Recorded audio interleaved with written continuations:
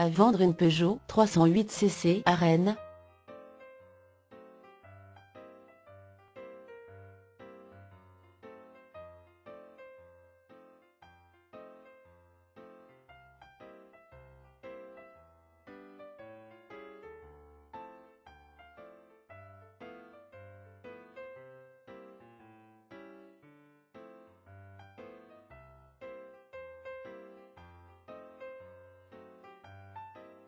Pour plus d'informations, cliquez sur le lien dans la description.